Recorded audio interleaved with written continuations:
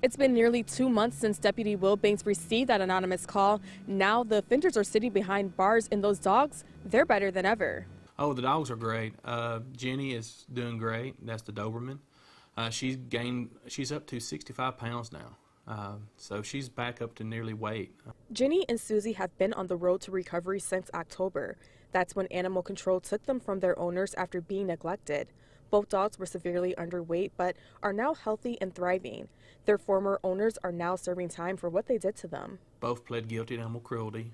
Uh, both were sentenced to a year.